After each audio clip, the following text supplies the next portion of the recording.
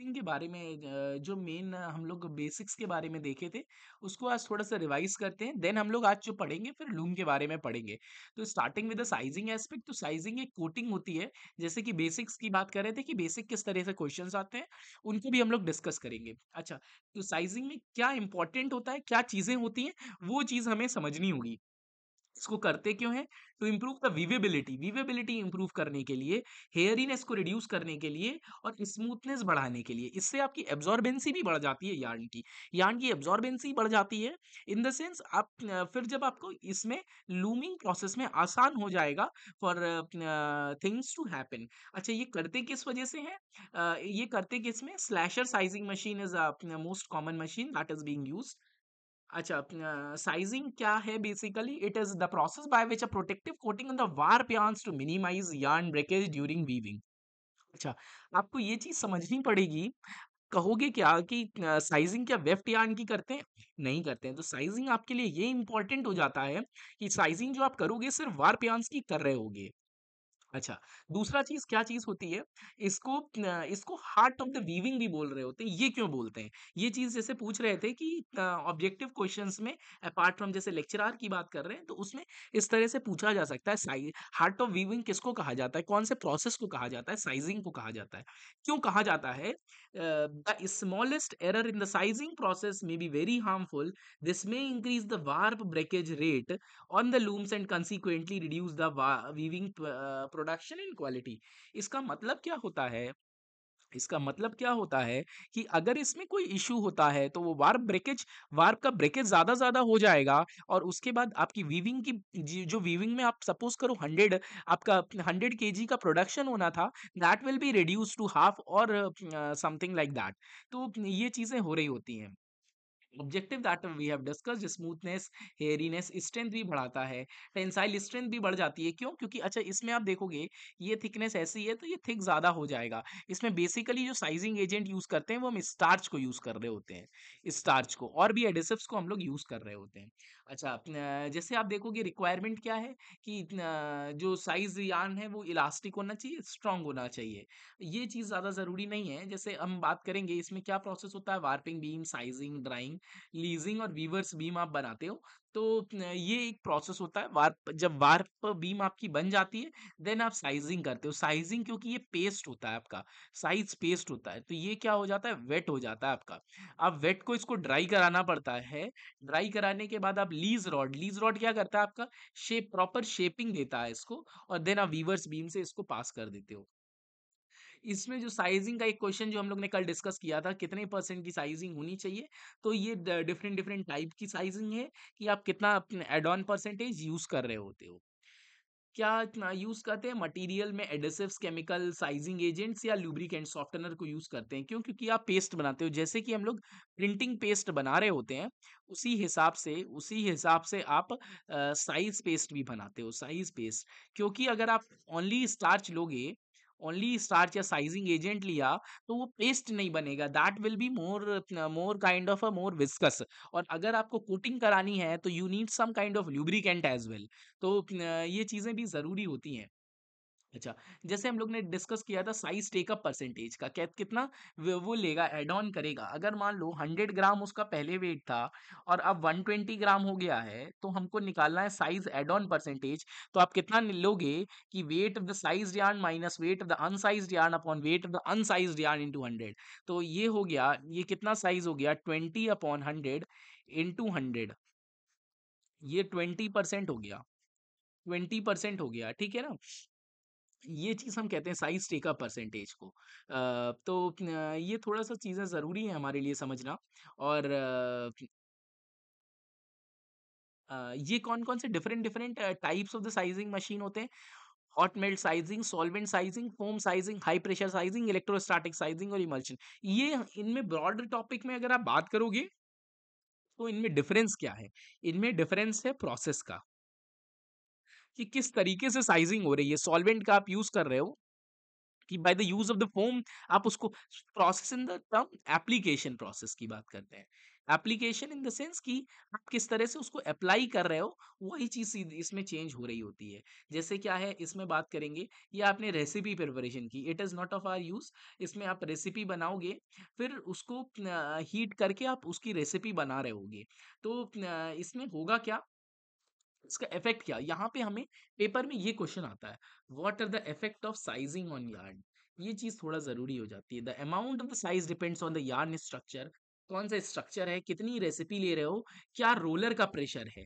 क्या मशीन की स्पीड है? यही क्वेश्चन आया था एक बार गेट में कि आ, कि कौन कौन से साइजिंग में कौन कौन सी चीज़ों पे फ़र्क पड़ रहा होता है? मतलब इफेक्ट्स किसमें होता है?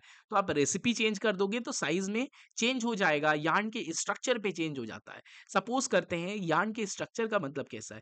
जैसे आप रिंग यार्न लो वर्सेस रोटर यार्न लो तो क्या होता है? रिंग यार्न जो है वो आपका ज़्यादा स्मूथ सेंस में बात कर रहे होते हैं जो जितना ज़्यादा स्मूथनेस होगा, उतना ज़्यादा आपका साइजिंग का एड ऑन ज़्यादा ईजी हो जाएगा एज कंपेयर टू दिस वो यार्न जो है after sizing it will become stiff but more और लेस ये डिपेंड करेगा यार्न के स्ट्रक्चर पे। जैसे आपने बात किया, कितने कितने आपके जैसे रिंग यार्न हो गया रोटर यार्न हो गया, आप जो ट्विस्ट देते हो यार्न में यार्न के स्ट्रक्चर में, जैसे आपने बड़ा, पढ़ा होगा जेड ट्विस्ट देते हैं और एस ट्विस्ट देते हैं।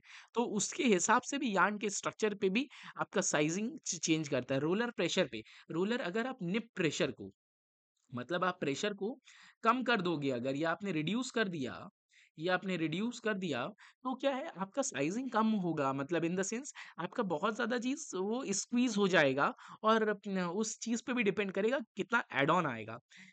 अच्छा दूसरा चीज़ क्या है, जैसे साइज़ अगर आपने एक्सेसिव साइजिंग कर दी तो क्या इफ़ेक्ट आएगा एक्सेसिव साइजिंग का? इसमें आपका यार्न जो है, वो बहुत हैवी हो जाएगा। यार्न बहुत हेवी हो जाएगा।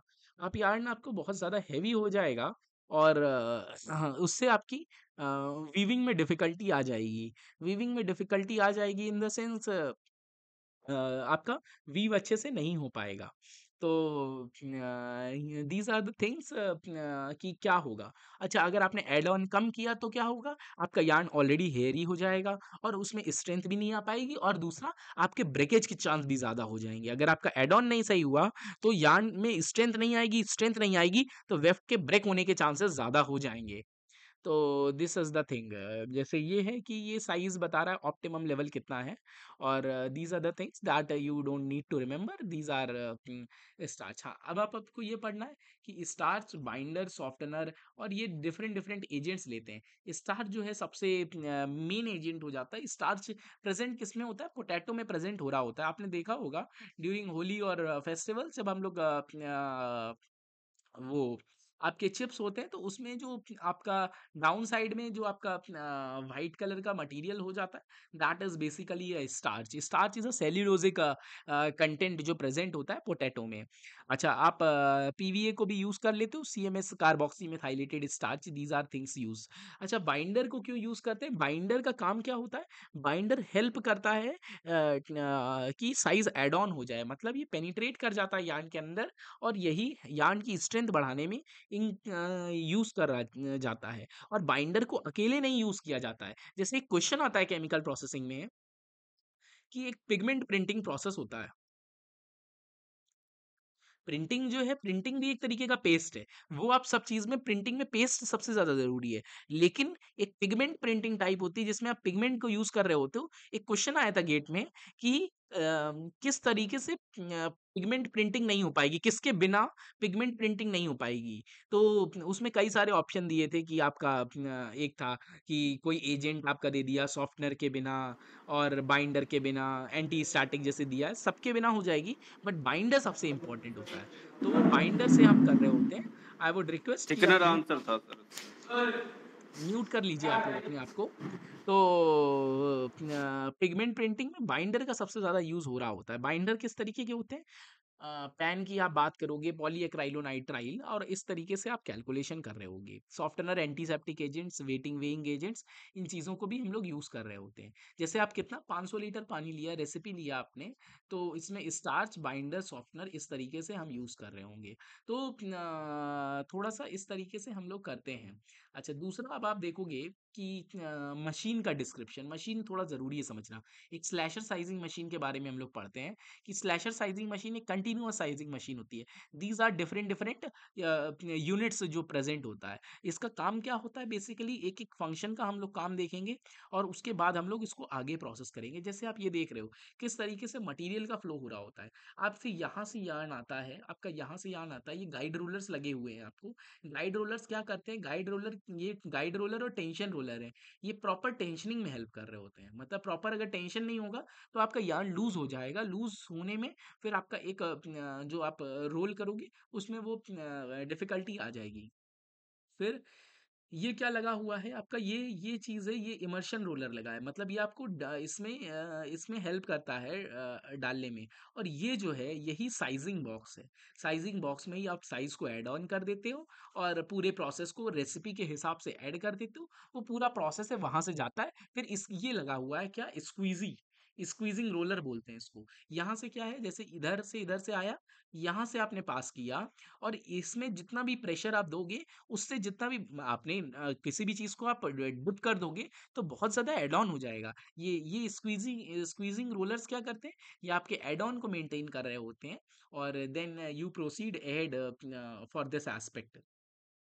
अच्छा फिर मेज़रिंग रोलर्स लगे होते हैं, फिर उसके बाद इस तरीके से ये टेंशन रोलर्स है और ये चीज़ें इस तरीके से हम लोग इसको डिफाइन कर रहे होते हैं। This is the typical yarn path. ये आपको साइज़िंग बॉक्स समझना थोड़ा ज़रूरी है। Sizing box. सिंपल मशीन है just for your reference I so I have shown कि किस तरीके से होता है जैसे साइजिंग मशीन आप यहाँ देख सकते हो किस तरीके से ये दिया हुआ है साइजिंग मशीन्स और these are the typical sizing machines और ये मशीन का description is not of our use तो we will keep till here only और